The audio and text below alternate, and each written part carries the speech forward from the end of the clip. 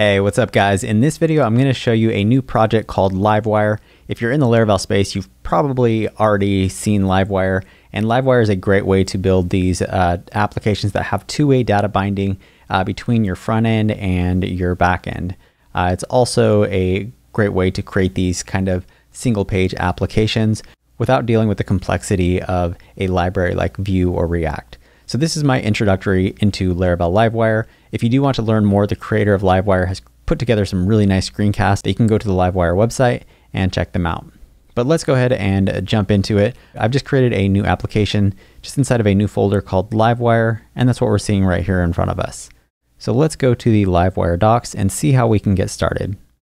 So if we come here to the documentation, you can see that we can install Livewire by running this composer command. So let's go ahead and do just that. Okay, and after we've included that, then we go back here to the docs and it says that we need to include the Livewire styles and the Livewire scripts in our main layout file.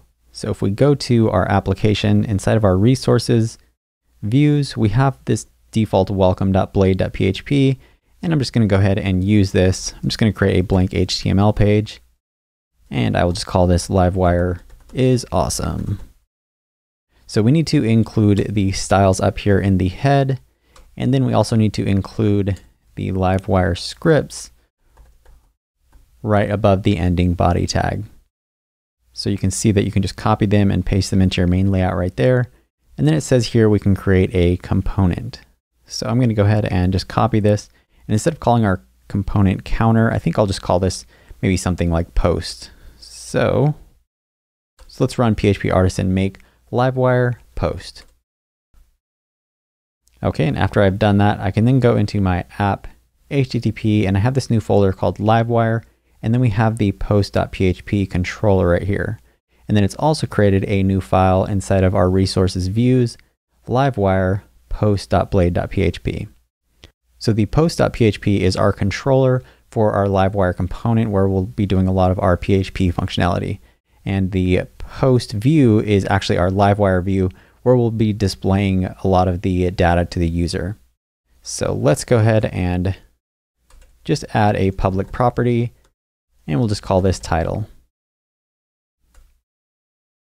Now let's go ahead and see how we can include this component. If we scroll down here, you'll see in the documentation they explain that we have our controller and then we have our view. And if we go down, it says including the component. So we can include this by saying at livewire and then the name of our component.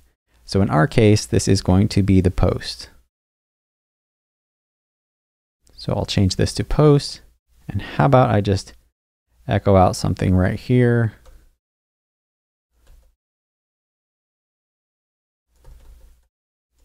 I'll just say hello Livewire.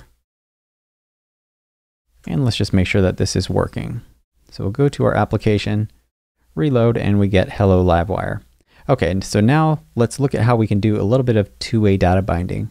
So this is insanely cool. We have access to these public properties that we create from our controller right here inside of our view. So let's go ahead and just echo out. How about we'll say title. Uh, but right now this actually doesn't have any content inside of it. So we need to actually use a function called mount. And this function gets called whenever the component is mounted. So we can say this title equals hello from Livewire. Let's save that. Let's go back here and reload and you can see that we get hello from Livewire. So this is super cool because we just created this public property right here in our controller and then we specified it in this mount function and then we were able to echo out this right here in the page. So let's go ahead and run an if condition. So I'm going to say if is set title and then I'm going to end if. So how about I actually do an else? And maybe right here, I'll just say no title. So let's actually comment this out. And let's save this and go back and reload. And you can see that it says no title. So we just ran that condition to say that the value of title is not set. So we just ran this right here. Now this is something else that's really cool. So I'm going to create a button and I'm going to say wire click I want to call a method that is going to set our title. So we'll say set title, and how about I pass something in here that says rad. And I'll just change this to set my title. Hey guys, sorry to interrupt your video. I just want to let you know about a new program that I've been working on called the Ninja Training Program. And this will teach you how to create your very own software as a service. You'll start off at the very beginning and I'll even teach you things from HTML through JavaScript and then PHP, Laravel, and then how to create your own successful software as a service. Uh, so make sure to check out devdojo.com slash ninja. And now back to your video. So now that we're running this wire click, we can actually call a method from our post controller. So I need to create this set title function.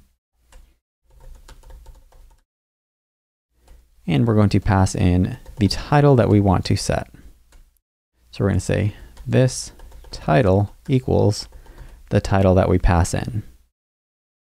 So let's go ahead and just save this and let's try this out. We go back here, we reload, and we can see that there is no title. But now if we click this button, we should actually set the title. And you can see that the if condition gets rerun and then we actually set the title and it's displayed right here. So you can check out all of the lifecycle hooks right here inside of the documentation. It has the mount function, the hydrate, updating, updating specific uh, public methods or public variables. So if you were to update a specific variable, this would be called right here. And then you can see that we have JavaScript hooks and just a whole bunch of cool stuff. I think I'm going to leave the video right here as is. We didn't do much functionality, but I think I was able to show you just the awesomeness of working with Livewire on the front end and then talking to the back end. Uh, it's really cool because you can now do two-way data binding with your front end and your back end. It's pretty much like JavaScript and PHP are now talking together simultaneously. Uh, be sure to check out the documentation at laravellivewire.com. Be sure to star the repo and be sure to check out the screencasts. But like I said, I will be having more videos in the future. I'll probably do like a whole 101 course on Laravel Livewire, and I think we'll probably create something like a simple blog. But my objective for this video was just to show you how awesome Livewire is, and if you haven't checked it out yet, I would encourage you to check it out, and I will talk to you in a future screencast.